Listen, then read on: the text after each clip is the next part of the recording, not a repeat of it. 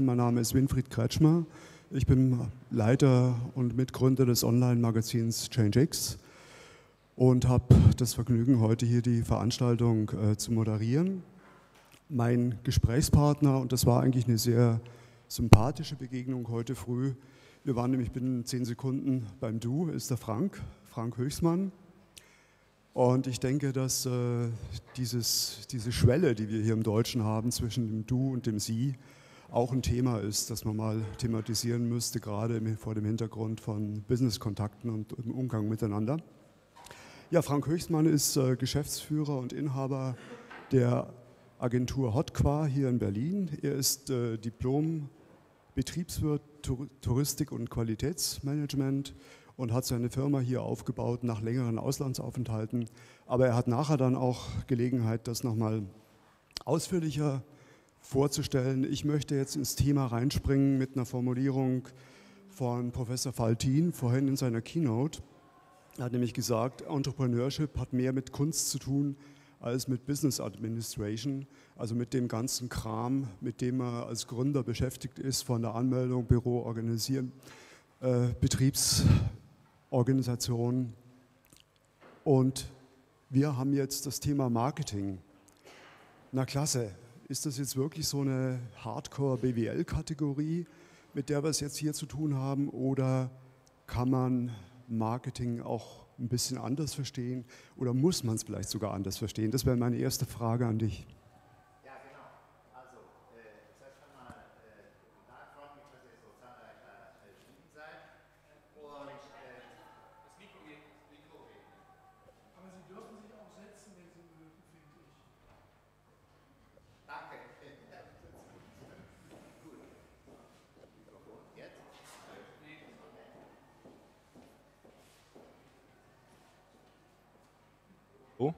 Jetzt klappt's, ja? Perfekt.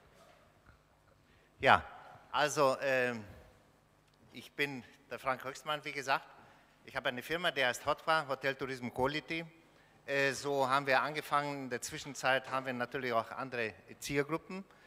Äh, wir hatten äh, verschiedene äh, Produkte entwickelt im Rahmen des Businessplan äh, Wettbewerb Berlin-Brandenburg, wo wir auch von 370 Firmen äh, die Nummer 1 in Brandenburg waren und die Nummer 4 in Berlin. Diese Produkte, die wir im Rahmen des, äh, des äh, Wettbewerbs entwickelt hatten, waren natürlich interessant, waren auch gut, aber die Realität hat uns was anderes dann gelehrt. Und zwar ähm, dachten wir, dass wir mit äh, Qualitätstest anfangen und mit Qualitätsmanagement aufhören. Und in der Zwischenzeit ist das äh, genau umgedreht. Das heißt, wir setzen immer äh, beim äh, Managementsystem an und arbeiten uns dann runter bis zu den Qualitätschecks. Also hat uns hier die äh, Realität äh, etwas anders gelehrt. Und da, ich denke, das ist auch äh, Gründermarketing, etwas zu entwickeln und dann, dann gleich zu, zu lernen, wie, wie der Markt da reagiert und äh, vielleicht dann sofort auch Gegenmaßnahmen zu treffen. Kann man das als Bestätigung der These verstehen, dass man Marketing anders äh, verstehen, anders definieren sollte, als es üblicherweise in der Betriebswirtschaftslehre getan wird? Jawohl. Also äh, wir hatten mit meiner Frau hatten wir in spanischer Sprache ein, ein Buch publiziert, Marketing Touristico. Und äh, da sind ja all diese Techniken, die ihr in der äh, Hochschule oder in diesen Vorlesungen da, da lernt. Und wir dachten, wenn wir jetzt nach Berlin kommen, dann können wir auch nach diesen Techniken vorgehen. Aber es ist im Grunde genommen, ist gerade für Entrepreneurs, für äh, klein- bis mittelständische Betriebe äh, Marketing etwas anders. Das geht alles über die persönliche Schiene, es geht über die äh, ersten drei bis vier Sekunden, es geht diese, äh, man muss die ersten drei bis vier Sekunden gewonnen haben. Also, und vor allen Dingen muss man mit dem, mit, mit, mit dem Bauchgefühl, also mit dem Herzen oder wie Watzlawick sagt, dass äh, alle wichtigen Entscheidungen oder zu, bis hin bis zu 95 Prozent der Entscheidungen aus dem Bauch herauskommen, aus dem Herzen herauskommen. Und so ist es auch. Also zwar helfen einem natürlich diese äh, theoretischen Marketingkenntnisse, die man in der Schule lernt, an der Uni lernt, die, die sind zwar gut, aber im Grunde genommen, wenn man dann Entrepreneur ist, wenn man einsteigt in den Kundengesprächen und so, dann muss man doch sehr stark sich auf diesen Basic Instinct verlassen. Was, was heißt das konkret für die Situation des Gründers? Wie muss er oder wie sollte er umgehen, um Kunden zu gewinnen und wie sollte er sich im Kundenkontakt verhalten? Also äh, äh zuallererst muss man sein, sagen wir mal so, sein äh, Produkt muss man spüren, man muss es erlebt haben, man muss äh, von, von seinem Produkt oder von seiner Fähigkeit und von den Angeboten überzeugt sein. Das stärkt einem den Rücken. Also das ist, das, das ist eigentlich die Grundvoraussetzung. Und dann sieht man, dann durchleuchtet man den Kunden, wer, wer ist es, was, was braucht er und man denkt, was, was könnte der gebrauchen und dann geht man praktisch äh, zu, zu dem Kunden und dann kommen diese drei bis vier Sekunden, die eminent wichtig sind und die man natürlich nicht verpassen darf. Also mein Eindruck ist ja, dass Gründer äh, eigentlich mit Marketing nicht recht viel am Hut haben. Zum einen deshalb, weil sie mit ihrer eigenen Gründung äh, so beschäftigt sind, dass sie eigentlich zunächst mal sich darum kümmern, ihren Betrieb zu organisieren, ihren Betrieb zum Laufen zu bringen und äh, zum anderen, weil Marketing immer noch äh, so eine ähm, die Vorstellung einer eigenen, eines, einer eigenen Abteilung beinhaltet. Also man könnte ja zynisch sagen, beim Unterne bei Unternehmen, bei großen Unternehmen ist es so, es gibt eine Marketingabteilung, damit sich die anderen Abteilungen nicht mehr um den Kunden kümmern müssen. Aber für Gründer stellt sich das jetzt anders dar. Aber trotzdem ist äh, mein Eindruck, dass Marketing oftmals als so eine externe Anforderung an den Gründer herangetragen wird. Ja, du musst ja eigentlich auch Marketing machen. Ist das so und ist das richtig? Ja, auf jeden Fall ist, ist Marketing wichtig. Also einmal das Marketing, das in, in Büchern steht, aber das andere Marketing ist schon fast wichtiger, diese eine Anpassung auf, auf den Kunden und diese ähm, un, unbeschreibbaren Sachen, die in der, in der Luft schwirren und die Reaktion, wie, wie man den in, in, in den ersten paar ähm, Minuten, sagen wir mal so, den den äh, Kunden dann von, von sich selber überzeugt, zuerst einmal als Person und dann erst vier, vier später kommt das Fachliche. Nicht? Also vier später kommt das Fachliche da. Und was ist da wichtig äh, bei diesem ersten Kontakt? Also zunächst mal, wie kommt man in Kontakt zu einem Kunden? Und dann diese, diese, erste, diese ersten paar Sekunden. Was ist da wichtig? Worauf muss ein Gründer äh, da achten, wenn er in den Kundenkontakt geht? Ja, also äh, zuerst, äh, natürlich muss man im, im äh, stillen Kämmerlein da auch äh, Marketingstrategien ent, entwickeln, um überhaupt zuerst einmal an den Kunden zu kommen. Und diese Gründermarketing ist ja so, das fängt äh, damit an, dass man eine Idee hat. Diese Idee, die wird dann, ähm, ja, die, die wird äh, zuerst zum, zum Reifen gebracht, dann wird das niedergeschrieben, dann wird das, diese Idee in ein Produkt oder in ein Angebot verwandelt und äh, wenn man dann die, äh, sagen wir mal so, die Idee in ein Produkt umgewandelt hat und dann dazu natürlich auch noch die Bedürfnisse der Zielgruppe kennt, dann äh, traut man sich dann raus, äh, ja, in, in den äh, äh, konkurrenzumschwerten Markt und versucht hier den, dem, dem Kunden sein Produkt an, anzubieten und äh, natürlich auch nicht nur anzubieten, sondern auch zu verkaufen. Äh, vielleicht äh, kann ich kurz erzählen, wie das bei uns war. Ja, gerne. Ja. Also, das hat so ausgesehen, ich war ja, in, wie gesagt, Fachexperte in, in Montevideo und eines schönen Tages haben wir einen Qualitätsmanagementkurs gemacht und äh, zum, wurden dann zum Qualitätsmanager und Auditor. Hm, meine Frau hat das auch mitgemacht und hat gesagt, Mensch, das war so schwer, jetzt müssen wir entweder vergessen wir alles, was Qualität betrifft, oder aber wir leben davon. Da sagte ich, ja gut, wenn das so ist, dann leben wir davon und äh, sofort haben wir dann eine Firma gegründet und gleich den ersten Auftrag bekommen, das war äh, von der äh, Deutschen Industrie- und Handelskammer und haben dort das Qualitätsmanagement eingeführt. Äh, diese Technik, die hatten wir dann intus und kamen dann nach Deutschland und hier in, in Deutschland haben wir die Firma angemeldet und äh, haben bei dem Businessplan-Wettbewerb Berlin-Brandenburg mitgemacht, wo wir die, äh, dieses Produkt, das wir ja schon hatten, noch äh, weiter verfeinert haben und äh, ent entwickelt haben. Und wie es dann stand, sind wir dann, äh, wie gesagt, auf den Markt raus und haben ähm, angefangen äh, zu verkaufen. Wobei ich sagen muss, äh, das ging natürlich nicht, nicht, nicht immer so äh, glatt und so gut und so schön, wie das in den Lehrbüchern steht, sondern man muss natürlich auch das eine oder andere mit, mit einstecken. Man muss äh, selbstverständlich dann auch wahnsinnig flexibel sein und man muss einen äh, Willen und, und eine Ambition aus, aus Stahl haben, damit da was, was rauskommt. Also nie aufgeben, nie aufgeben. Nicht? Und das ist äh, dann äh, ganz wichtig für den Entrepreneur, dass er hier ähm, ja, Mut, Mut, zeigt zum, äh, zum Weitermachen, auch wenn er einmal auf die Nase gefallen ist. Und er muss auch wissen, was, äh, was er will. Und dann, äh, dann geht das. Auf jeden Fall ist eminent wichtig, dass man sich, äh, dass, dass man hier dieses Persönliche ähm, stärker entwickelt, vielleicht wie, das Fachliche. Das Fachliche hat man ja sowieso intus und das andere, das muss dann aus der Lebenserfahrung heraus ähm, entstehen. Die Formulierung jetzt eben äh, als konkrete Situation, da geht das nicht so schön, wie es in den Lehrbüchern steht. Äh, was heißt das konkret? Welche Erfahrungen verbindest du damit? Ja, ich, äh, die, die Erfahrung, die war dann so, dass wir äh, praktisch ähm, Produkt, ein Produkt angeboten haben. Wir hatten da mit der äh, Zukunftsagentur äh, Brandenburg damals zusammengearbeitet. Wir haben ein netzbasiertes äh, Qualitätsmanagement-Handbuch entworfen und dachten, das ist, das ist das Nonplusultra, das ist die Lösung und was ist da passiert? Da hat sich überhaupt niemand um, um dieses Produkt interessiert das war daneben, einfach daneben entwickelt. Und dann mussten wir uns noch einmal hinsetzen und überlegen, ja, wie, wie ist das? Warum, äh, warum ist das nicht gut angekommen?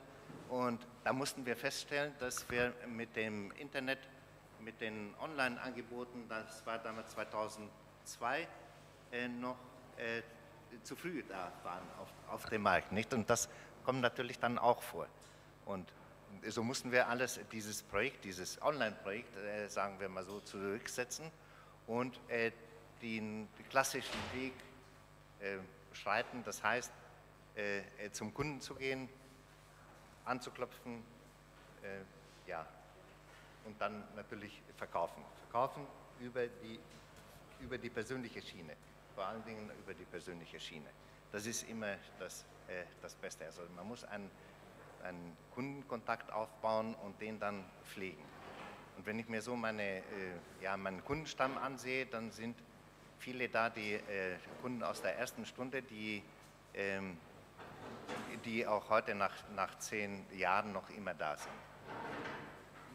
Wenn das äh, nicht so geht, wie das in den Lehrbüchern steht, äh, ist das vielleicht auch, rührt dieses Problem vielleicht auch daher, dass die Betriebswirtschaftslehre sich eben aus der Bildung und dem Management von Großorganisationen heraus entwickelt haben. Und Großorganisationen haben halt ihre eigenen Abteilungen und damit eigentlich so ein Abteilungsdenken sich entwickelt und sich festsetzt in der, in der Disziplin BWL, äh, das eigentlich mit der Praxis des Gründers gar nichts zu tun hat, weil der Gründer eben eigentlich alles selbst machen muss oder in einem kleinen Team machen muss? Ja, äh, äh, das sehe ich nämlich auch so. Also die, ähm, äh, vor allen Dingen, wenn man äh, als, als Entrepreneur äh, was machen will oder erreichen will, dann hat man natürlich keine Marketingabteilung zur Verfügung, sondern man muss, ähm, man muss das alles selber machen und die, die, diese Techniken, die, einem, die, die man in den Lehrbüchern ähm, gelernt hat, die, die, die greifen dann einfach nicht. Also da muss man sich auf jeden Fall was, was anderes einfallen lassen und man muss, äh, wie gesagt, man muss äh, andere äh, auch Maßstäbe setzen und an, eine andere äh, an, Angehensweise da äh, zutage bringen. Mhm.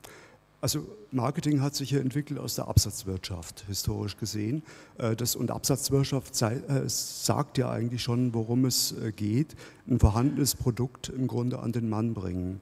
Und diese Vorstellung auf eine Gründungssituation zu übertragen, ist, glaube ich, problematisch, weil man kann ja an eigentlich ein Produkt nicht unabhängig vom Kunden denken. Insofern ist die Herausforderung nicht äh, sowas, was sich als abstraktes als abstrakte Disziplin stellt, nämlich Marketing, äh, tatsächlich in eine Gründungssituation ganz konkret reinzubringen, als, äh, eigentlich als Perspektive des Kunden. Ist das die Herausforderung? Äh, das, das ist natürlich die Herausforderung. Man muss die natürlich dann auch, auch, auch kennen. Das geht nicht immer auf den, äh, sagen wir mal so, auf den ersten Blick, sondern das muss sich ja auch, äh, muss, muss schön langsam reifen, um dann äh, zu sehen, was, was der Kunde will und wie er dann mit diesen Sachen umgeht. Nicht? Im Übrigen meine ich, glaube ich, äh, auch, dass sich diese klassische starre Orientierung äh, innerhalb der Betriebswirtschaftslehre aufzulösen beginnt. Das hängt auch damit zusammen, dass man heute sehr viel mehr über Stakeholder-Beziehungen spricht als über Zielgruppen im eigentlichen Sinne. Also ich glaube, da ist auch Bewegung drin. Und äh, ich wollte es aber trotzdem nochmal nachfragen. Einfach mich interessiert so diese ganz konkrete Situation äh, des Gründers, der sich, der oftmals da sitzt, überzeugt ist von seiner Idee und in diesem Überzeugtsein von, einer, von seiner Idee eigentlich äh, der Ansicht ist, ja, jetzt müssten alle kommen und müsste alle begeistert sein davon und die Idee müsste sich Bahn brechen und müsste sich niederschlagen in guten Geschäften, die er dann auch machen möchte damit. Und dann, glaube ich, kommt oftmals die große Frustration. Ist dieses Bild, das ich da habe, richtig? Kann man das in der Gründungspraxis feststellen? Auf, auf jeden Fall. Also die, man hat ja gewisse Vorstellungen, wenn man, wenn man eine Firma gründet und dann überlegt man sich ja, wie, wie wird diese Firma, wie, wie entwickelt sich die Firma, welche Produkte werden verkauft, man macht einen tollen Businessplan, das ist nur so Kracht. Man gewinnt auch äh, den Businessplan und dann wird man von der Realität praktisch äh, im Nachhinein dann überrollt und äh, stellt fest, dass äh, die Theorie eine Sache ist und die Praxis natürlich eine, eine ganz, äh, ganz andere. Nicht? Also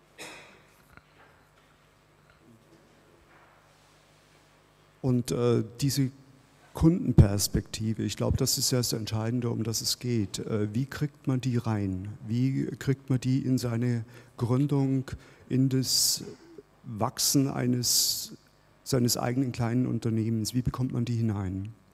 Äh, durch äh, durch Kundenbeobachtung, durch ähm, äh, teilweise auch durch, durch Marktforschung, allerdings im, im kleinen Stil, also nicht so wie große Firmen das machen, sondern man ähm, muss diese Informationen eben durch die äh, Gespräche äh, herausfinden. Man muss äh, teilweise auch zwischen den Zahlen ähm, hören oder, oder lesen, um äh, zu wissen, was, äh, was der Kunde will.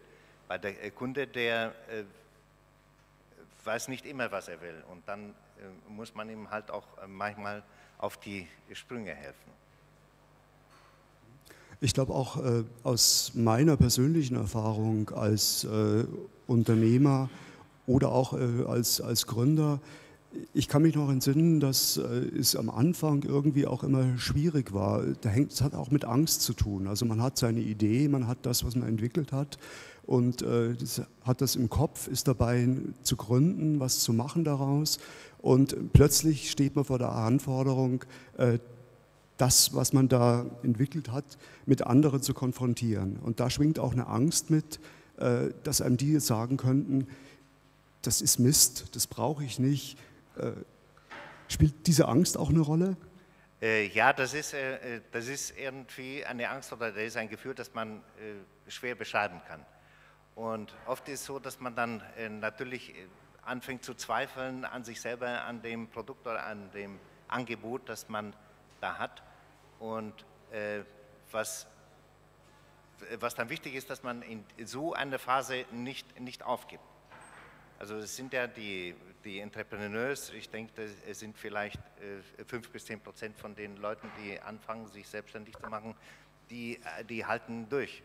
Und Äh, das ist hier eigentlich das, das Wichtigste, dass man, äh, dass man einen starken Willen hat und dass man dann auch, auch durchhält. Also wenn es einem dann auch nicht so gut geht, dass man nichtdestotrotz dann weitermacht und von, von sich selber überzeugt ist, beziehungsweise von dem Produkt. Auch wenn man, äh, wie gesagt, also wenn, wenn, das da, wenn die Gefühle da hoch und runter gehen.